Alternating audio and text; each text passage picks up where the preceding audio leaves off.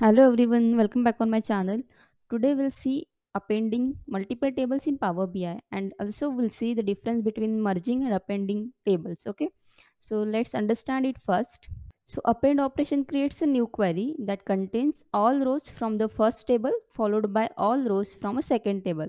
Okay, and in Power BI we can append two or three tables with each other and it increases the rows in the appended table and it creates a taller table. While merging two tables creates a wider table by increasing the columns. So the difference between append and merging is append increases the rows in the table. It means it creates a taller table. And in merging it increases the column numbers in the table. So it wider the table okay? See it in the power bi how to create the appended table okay? So in power bi desktop we need to import the three different tables. We are having these three tables. So we are having the sales data for 15 sales data for 2016 and sales data for 2017 so we are having these three tables in our power bi desktop. And we need to append that three tables so that we can have all data in only one table of 15 16 and 17 year okay so for this operation, we need to go to the query editor from the transform data option. Okay.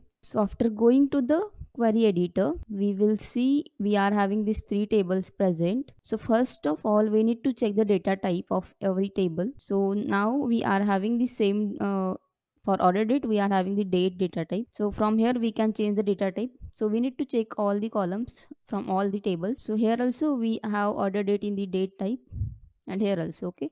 So then we need to go to this append query. This option present on the home ribbon of power query editor below the merge queries option okay? So here we are having this drop down present. We need to click on this append queries as new option okay? We can use the append queries also. So here uh, we are having these two options. Concatenate rows from two table into a single table okay?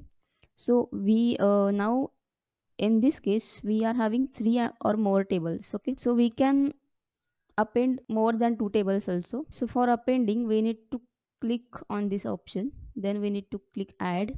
Then we need to click here. We need to click add. And 2017 it is there okay? Because we have selected this table first. Then we need to click over this option okay? So it will give us the appended table of 15 16 and 17 okay? So then we can we can give the name sales data of 15 16 and 17 okay? So after renaming we can check the data type and all the data. So after doing this table we need to click over here over this on on this drop down. Then we need to close and apply the changes. So it will replicate in the power bi so here now we have all these three tables and one. In this table now we are having the different all the years present okay? So for analyzing all these tables are connected or not we need to tag this year from the appended table. We need to tag the year in the table. So here we are having 2015 16 and 17 and after appending this table we can create any visual that we want to analyze the these three years data okay? So we can add any visual from here and we can analyze the data as per our requirement okay so this is about this task. We'll see next task soon.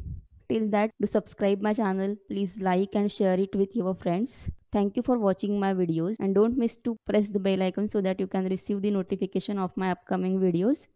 Thank you so much